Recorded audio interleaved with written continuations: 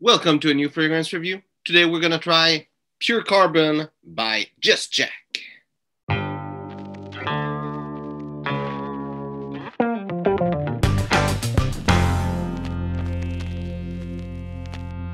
So, this fragrance, I'm gonna show you the bottle and the presentation, but first, you need to know this is a clone of Tom Ford Noir Anthracite.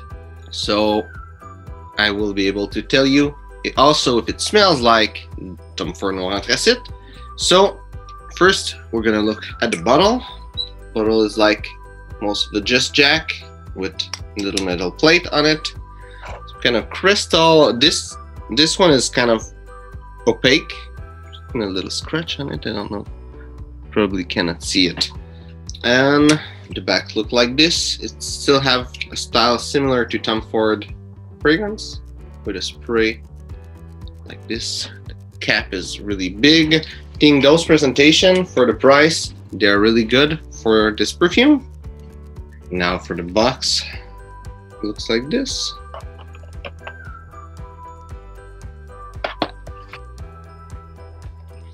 And the inside, there's a little plastic to put bottle. So now we're gonna try to smell. The spray is not some crazy spray. I won't spray it there because there's my computer and I don't want all fragrance to just fall there. But it's not such a good spray. It's a bit cheap. It just did a little mist. So the first thing I get, even from the spray, I get some earthiness and some birch a little bit, a little bit more earth earthiness. I don't know already to describe it. When I smell it on paper, it's really different than on skin. Smells like ginger. Smells really spicy with other spice in the background, but nothing that you can really describe. There's some bitterness. I would say probably come from leather, maybe from birch. That's about it what I smell on my skin, it's the note of birch that is really powerful and there's a lot of earthiness. You know, I compared Noir Anthracite to Aventus and Club de Nuit Intense because both of them have the note of birch that is really present. I would say that Pure, pure Carbon and, of course, uh, Noir Anthracite are more dark and earthy than Aventus Club de Nuit Intense that is more bright and uplifting in a way. Also on my skin, what I get, the earthiness, I would say it's many things all together. Patchouli, maybe some of the wood and the leather. It's hard to really describe it, but mostly it's dark earthy birch that I'm smelling on my skin. Longevity is a bit over average. It lasted on me about a bit over six hour and projection is good.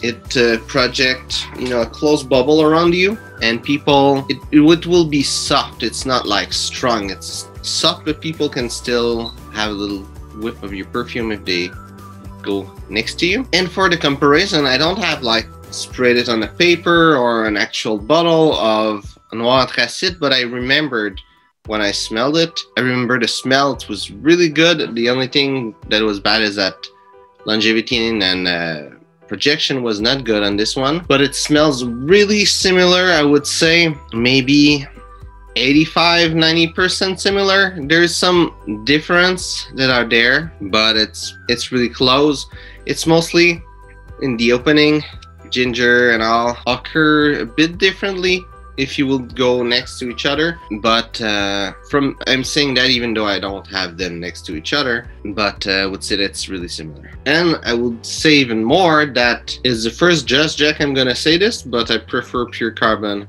than a noir anthracite and the reason is really simple is that noir anthracite didn't last long didn't project at all and pure carbon it lasts longer and project better. So for me it's more of an improvement on Noir Anthracite than just a clone. Now for the complete note breakdown. Top notes are ginger, bergamot, and Sichuan pepper. Heart notes are spicy note, jasmine, and galbanum. And the base notes are birch, leather, ebony wood, patchouli, sandalwood, amberwood, and cedar. And where would see this fragrance, you know, I haven't watched my review of Noir Anthracite before doing this, so it could be interesting to see how I was rating Noir at the time because, you know, by rating of what kind of fragrance it is, it's really subjective and it changed from time to time with taste, with people, with seasons and all. So maybe it's not the same. But I would say it's a nice business fragrance. It smells different, it smells good, it smells still like a nice fragrance. I mean, it's a clone of a Tom Ford, so of course it smells like something nice and a bit fancy. I don't think it will be so good as a dating fragrance, but I don't think it will be so bad because, uh, you know, Club de Nuit Intense Man slash Aventus are really well loved and it still have a little vibe of that fragrance. So I would say that might be good in a way in the winter summer spectrum. I would say might be good for for summer. The the the smell is really not summery. It's more wintry, I would say. So it could be good for summer going out because projection is not crazy. In winter though, projection is not there. The this you know uh, winter will uh, stop the projection, so it won't be really good. Of course, inside it will be perfect. And as an everyday fragrance, I think it could be nice. It's different. It's elegant. It's kind of having the world of people pleasing and the world of being bold together, that fragrance. So it would make a nice everyday scent. Also, it won't choke people around you, which is also good. And the price is cheap.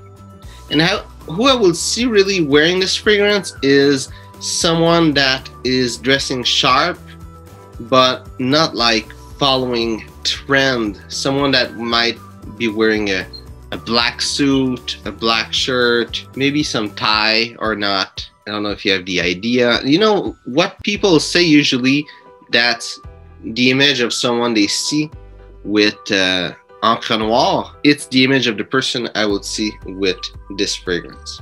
So, hope you enjoyed this video. If it's the case, well, like and share. And if you tried this fragrance, just write it in the comment. Tell me what you think about it. If you tried any other Just Jack, go and comment. Tell me what you think about them and I'm still having a lot of other, not a lot, but a couple of other fragrance of Just Jack to try. And I already tried a lot, so if you're interested, you can go check my playlist and see other Just Jack if you're interested to see this. So, thanks for watching, and see you soon.